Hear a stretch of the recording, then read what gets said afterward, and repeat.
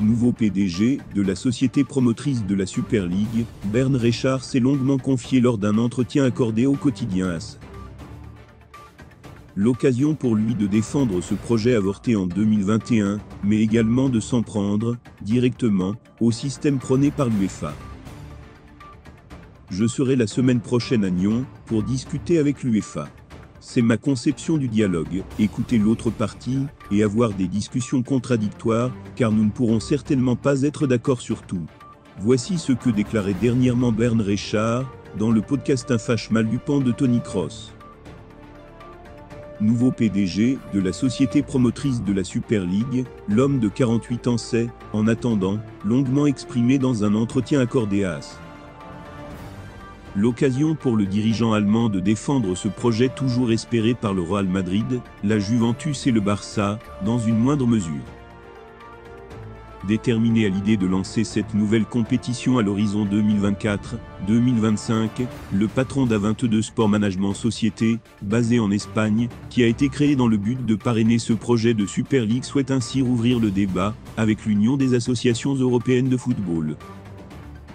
Qu'importe les nombreuses charges venant de la Liga ou les menaces de grève, pour Bern Richard, cette Super League doit voir le jour, et ce, pour de multiples raisons. En attendant le verdict de l'avocat général de la Cour de la justice de l'Union européenne, CJUE, dans le litige ouvert pour abus de position dominante de la part de l'UEFA, le natif de Shedeg s'est montré confiant. Nous avons confiance dans les tribunaux de l'Union européenne, et nous nous conformerons à leur jugement, a tout d'abord lancé Richard, faisant référence à l'avis consultatif, qui sera rendu le 15 décembre prochain, avant une décision finale en 2023. Interrogé, par la suite, sur les contours de ce projet morné, Bern Richard s'est livré à un long argumentaire axé sur deux points principaux, la qualité du spectacle proposé, et l'attrait du public. Nous devons trouver un équilibre, car nous ne pouvons pas mettre en jeu la santé des joueurs. Il me semble que l'important n'est pas de parler de plus de matchs, mais de meilleurs matchs. Honnêtement, dans le nouveau format de la Ligue des Champions après 2024, je ne vois pas que cela a été pris en compte. Au contraire, cela aggrave la situation actuelle. Je vois plus de matchs sans importance.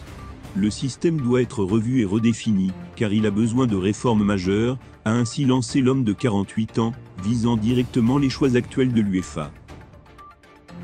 Nous pouvons nous contenter que les jeunes regardent 20 secondes d'un match sur TikTok, où nous pouvons réagir et travailler pour améliorer les choses.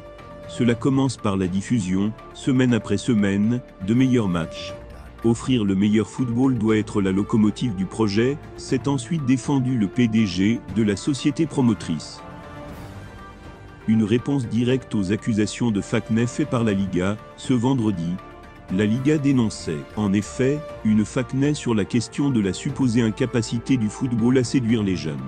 À ce titre, l'instance s'appuyait, notamment, sur des données de TikTok. 60% des utilisateurs consomment du football, qui est le contenu sportif le plus regardé sur cette plateforme. Enfin, pour répondre à ceux qui s'inquiètent d'une compétition élitiste, d'un modèle fermé ou semi-fermé, dévalorisant les championnats nationaux, Bern Richard a assuré qu'il n'était plus question de membres permanents, et que le futur format n'était pas encore défini.